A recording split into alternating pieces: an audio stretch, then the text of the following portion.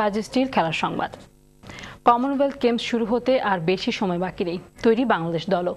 একটি পদক জয়ের আশা বুকে বেঁধে প্রস্তুতি শুরু করেছেন বাংলাদেশের ওয়েট লিফটাররা রমেশ চৌধুরীর ক্যামেরা, কমনওয়েলথ গেমস নিয়ে ধারাবাহিক প্রতিবেদনে আজ ভারোত্তোলকদের আশা নিরাশার কথা জানাচ্ছেন পরাগারমান কমনওয়েলথ গেমসে ভারোত্তোলনে বাংলাদেশের সাফল্য বলতে দু হাজার আট সালে পুনেতে ব্রোঞ্জ জয়।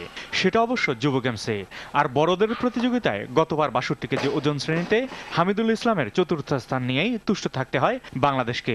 এবার হামিদুল দলে না থাকলেও আশার প্রদীপটা আরও প্রজ্বলিত। আমাদের যে পারফরমেন্স আছে বেটার করা।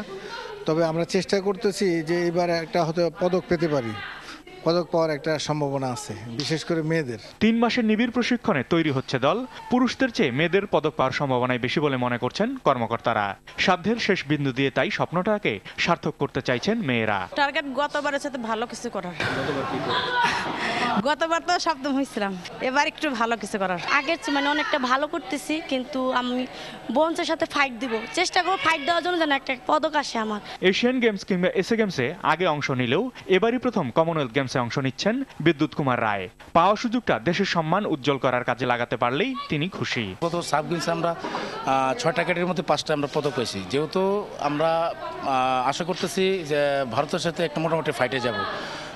তুলনায় তবু আমরা একটা একটা লাইনে থাকব আমরা একটা পজিশনের মধ্যে থাকব। হয় ব্রঞ্জ নাহলে ফোর্থ পজিশন বিদেশি কোচ না থাকায় খেলোয়াড়দের মধ্যে আক্ষেপ থাকলেও দলের প্রস্তুতিতে দেশীয় কোচরা বেশ খুশি। বিগত বছরে যারা ক্যাম্প করাইছে তাদের তুলনায় বর্তমানে প্লেয়ার অনেক ভালো করছে আমার দেখা। এই তিন মাসে তারা প্রত্যেকে খেলোয়াড়ি দশ থেকে পনেরো কেজি ডেভেলপ করছে। গত সাব গেমসের তুলনায় অনেক তারা ভালো। কমনওয়েলথে যাওয়ার আগে ভারোত্তোলকরা কথামালা দিয়ে আসার শুলতেটা যতই উস্কে দিন না কেন, স্বাদ আর সাধ্যের সম্মেলন ঘটাতে হবে তাদের ময়দানি লড়াইয়ের এ সত্য মেনেই চলছে ঘাম ঝরানো অনুশীলন। পরাগারমান আর টিভি স্পোর্টস ঢাকা।